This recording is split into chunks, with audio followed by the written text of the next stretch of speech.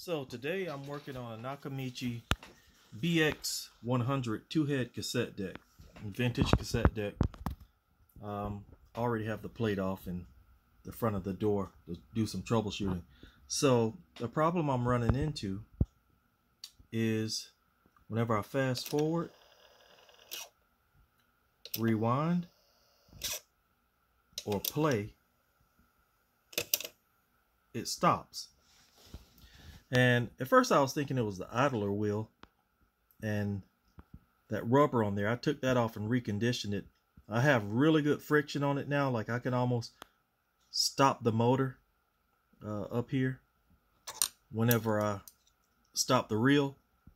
So just through troubleshooting, I don't think it's the belts, but I want to get this problem fixed first.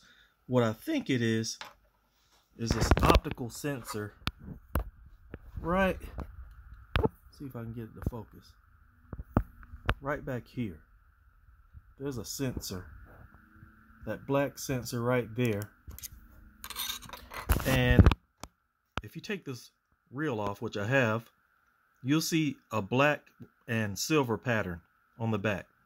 That that sensor or eye if you will detects and it pulses a signal to the rest of the unit, the board, to tell it whether uh, the reel is still spinning.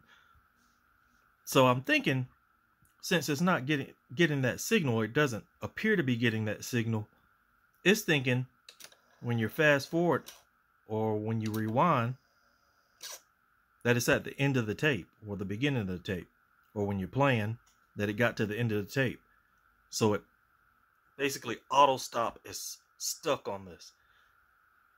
So I found one on eBay and I'm gonna change it out. I actually found this whole mechanism, but I, I don't need all of that. All I need is this board right here. You can kind of see me pointing at it. my light's kind of messing. That board right there. That sensor is on that board. I normally don't like throwing parts at something to try to fix it, but I just think through troubleshooting that that's my problem. So anyways, we'll see. It's a nice cassette deck. I like to get it fixed. So um, I'll keep you updated. Okay, so I'm back. And after changing out this optical sensor right here, uh, changed out this whole board, little board back here. Um, and installing it, guess what?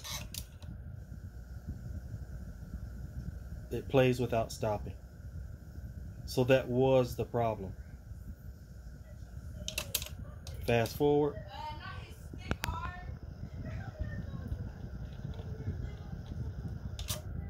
Rewind works. You have to kind of spin it around a little bit so it won't stop.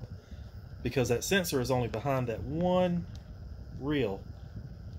So yeah, that did it. If anyone else bumps into this problem where everything seems to be working, but it keeps stopping, auto stopping, that's what it is.